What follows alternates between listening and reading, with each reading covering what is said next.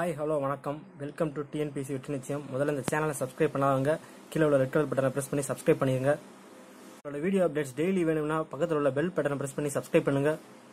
இந்த வீடியோவில் மனித இதயம் மற்றும் ரத்த ஓட்ட மண்டலம் பற்றி டீட்டெயிலாக பார்க்க போகிறோம் இந்த வீடியோவை ஸ்கிப் பண்ணாமல் பாருங்கள் இல்லைன்னா புரியாமல் போகிறதுக்கு ரொம்ப சான்சஸ் இருக்குது இந்த வீடியோவை ஃபுல்லாக பாருங்கள் டிஎன்பிசியில் இது சம்மந்தமாக என்ன கேள்வி கேட்டாலும் கரெக்டான ஆன்சர் போட்டுருவீங்க. மனித இதயம் ஒரு உள்ளிடற்ற தசைநார் அமைப்புடைய உறுப்பு.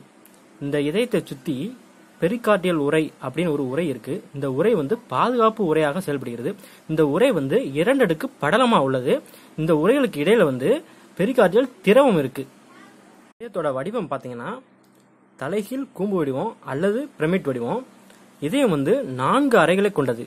ரெண்டு ஆரிக்கில் ரெண்டு வென்ட்ரிக்கிள் வலது ஆரிக்கில் இடது ஆரிக்கிள் வலது வென்ட்ரிக்கிள் இடது வென்ட்ரிக்கிள் இதயத்தின் வெளியே வந்து சிறை இருக்கும் இதயத்தின் உள்ளே வந்து தமனி இருக்கும். சிறைகள் தமனிகள் இதோட வேலை என்னன்னு பார்த்தீங்கன்னா ரத்தத்தை வந்து கடத்துறது தான் இதோட வேலை. சிறைகள் வந்து கெட்ட ரத்தத்தை கடத்தும் தமனிகள் வந்து நல்ல ரத்தத்தை கடக்கும் கடத்தும்.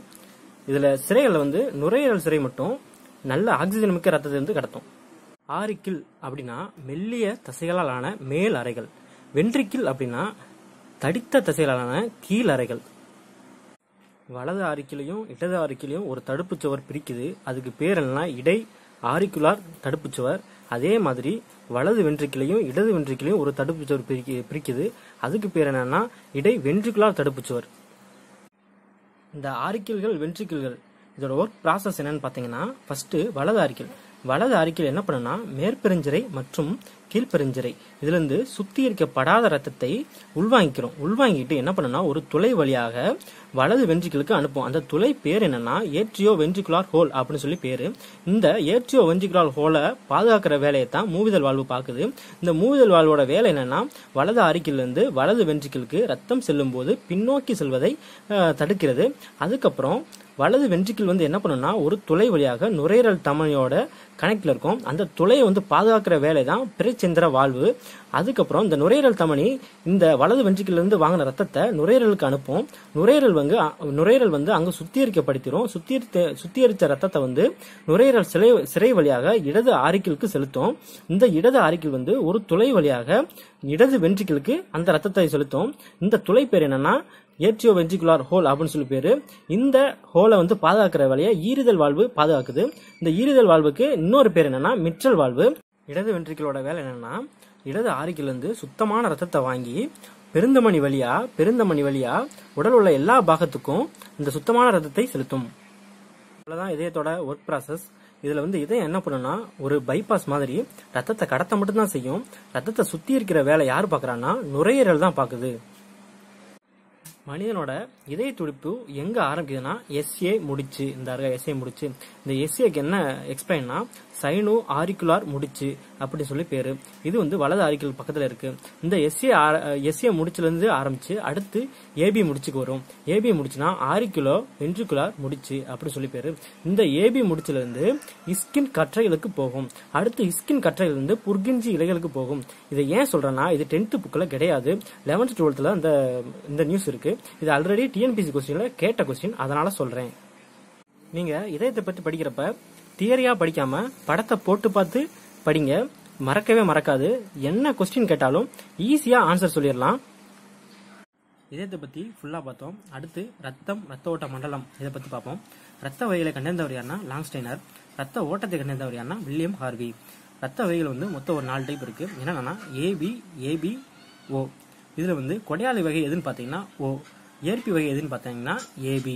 ரத்தத்தோட பிஹெச் மதிப்பு எவ்வளோன்னா ஏழு புள்ளி நாலு. ரத்தத்தின் பகுதி பொருட்கள் என்னென்ன என்னென்ன இருக்குன்னா ரெண்டு இருக்கு. ஒன்று பிளாஸ்மா இன்னொன்று ரத்த செல்கள். இதில் பிளாஸ்மா வந்து ஐம்பத்தஞ்சு சதவீதமும் ரத்த செல்கள் வந்து நாற்பத்தி அஞ்சு சதவீதமும் இருக்கு. இதில் பிளாஸ்மா பற்றி பார்த்தீங்கன்னா பாய்மமாக செயல்படுது. பாய்மங்கிறது ஒரு திரவ பண்பையும் திடப்பண்பையும் பெற்றிருக்கும். இந்த பிளாஸ்மாவில் மூணு டைப் இருக்கு. ஆல்புமின் குளோபுலின் பைபர்நாய்ச்சன் அதில் ஆல்புமின் வந்து உடலுக்கு நீர்ச்சமலையே கொடுக்கிறது. அடுத்து குளோபுலின் வந்து உடலுக்கு நோய் எதிர்ப்பு ஆற்றலே தருகிறது. அடுத்து பைப்ரினிஜன் வந்து ரத்தம் முறைவதற்கு உதவுகிறது. அடுத்து பார்த்தீங்கன்னா ரத்த ரத்த செல்கள். ரத்த செல்கள் மொத்தம் மூணு டைப் இருக்கு. அதுல ரத்த சிவப்பணுக்கள் முதல் டைப்பு இது ரத்த சிவப்பணுக்கள் வந்து ரெட் பிளட் செல் இது வந்து இன்னொரு பேர் வந்து எரித்ரோசைட் இது எப்படி ஞாபகம் வச்சுக்கணும் அப்படின்னா சிவப்பு கலர் எரிக்கும். சிவப்பு சிவப்பணுக்கள் எரி எரித்ரோசைட் இதோட எண்ணிக்கை எவ்வளோன்னு பார்த்தீங்கன்னா ஐம்பது லட்சம். வாழ்நாள் வந்து நூற்றி இருபது நாட்கள். அதிகமான வாழ்நாள் கொண்ட ரத்த செல்கள் எதுன்னு கேட்டால் ரத்த சிவப்பணுக்கள் உருவாகும் இடம் வந்து எலும்பு மஜ்ஜை. அழியும் இடம் வந்து கல்லீரல். ரத்த சிவப்பணுக்கள் அதிகமானா என்ன நோய்னா பாலிசைத்தீமியா. இதே ரத்த சிவப்பணுக்கள் குறைவானா என்ன நோய்னா ரத்த சோகை. ஆக்சிஜனை உடலில் உள்ள எல்லா பகுதிகளுக்கும் கடத்துவது இதுதான். இது அதனால இது வந்து ஆக்சிஜன் படகுன்னு அழை அழைக்கிறாங்க. ரத்த சிவப்பணுக்களை கத்தரிக்கும் வாயு எதுன்னு கேட்டிங்கன்னா கார்பன் மோனாக்சைடு.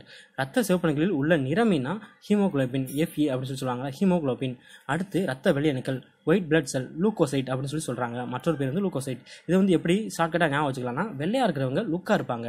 வெள்ளை வெள்ளை அணுக்கள் லுக்கா லூக்காசைட் அடுத்து எண்ணிக்கை பார்த்தீங்கன்னா பத்தாயிரம் வாழ்நாள் மூணு டு நாலு வாரம். உருவாகும் இடம் பார்த்தீங்கன்னா ரத்த சிவப்பணுக்கள் மாதிரி எலும்பு மஜ்ஜைகள் தான். அ- மற்றும் நினைவு சுரப்புகள். அடுத்து அழியும் இடம் எங்கன்னு பார்த்தீங்கன்னா கல்லீரல். ரத்த வெள்ளையணுக்கள் நோய் எதிர்ப்பாற்றலை கொடுக்கும். இதே மாதிரி ரத்த வெள்ளையணுக்கள் எண்ணிக்கை அதிகமானால் லூக்கிமியா ரத்த புற்றுநோய் ஏற்படும். இதே எண்ணிக்கை குறைவானால் லூகோ லூகோமிடியா லூகோபினியா ஏற்படும். அடுத்து ரத்த தட்டுகள் டிராம்போசைட் அப்படின்னு அழைக்கிறாங்க மற்றொரு பேர். இது வந்து எப்படி ஷார்ட்கட்டாக ஞாபகம் வச்சுக்கலாம்னா தட்டை த்ரோ பண்ணணும். ரத்த தட்டுக்கள் த்ரோ த்ரோ த்ராம்போசைட் இதோட எண்ணிக்கை எவ்வளோன்னு பார்த்தீங்கன்னா ரெண்டு புள்ளி அஞ்சு லட்சம். வாழ்நாள் பார்த்தீங்கன்னா அஞ்சு முதல் ஒம்பது நாட்கள். இந்த ரத்த செல்களிலேயே வாழ்நாள் குறைவான ரத்த செல்கள் வந்து எதுன்னு கேட்டிங்கன்னா இந்த ரத்த தட்டுகள் தான். அடுத்து ரத்த முறைகளை இது வந்து ஏற்படுத்துது. அடுத்து டெங்கு நோயினால் பாதிக்கப்படுறது வந்து இந்த ரத்த தட்டுகள் தான். இந்த டெங்கு நோயினால் பாதிக்கப்படுகிறது. இந்த வீடியோ பிடிச்சிருந்துச்சுன்னா லைக் பண்ணுங்கள் கமெண்ட் பண்ணுங்கள் சப்ஸ்கிரைப் பண்ணுங்கள்